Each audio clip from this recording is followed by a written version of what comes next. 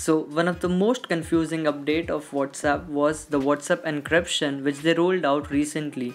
In this, they had enabled an encryption system which will allow you to get some more privacy but you were freaked out by watching it and not understanding what actually it is. So I am here to tell you what actually WhatsApp encryption means.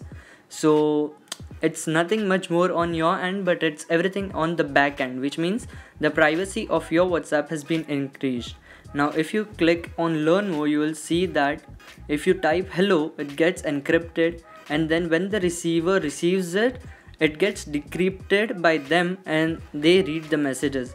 Now whatsapp is claiming that their encryption is so strong that not even whatsapp can read your messages.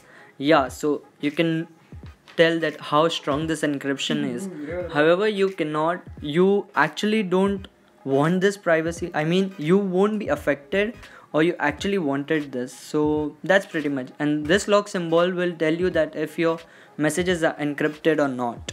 Another great feature of this was that you can now write bold by adding asterisk at the start and the end or you can write italic or you can add strokes. You can add them in any combination like bold and italic or whatever you want. Just make sure you add that particular character at the start and the end of the chat so that's pretty much for this video. I hope you enjoyed it. And by the way i have two premium keys to the application of snapchat which i reviewed earlier.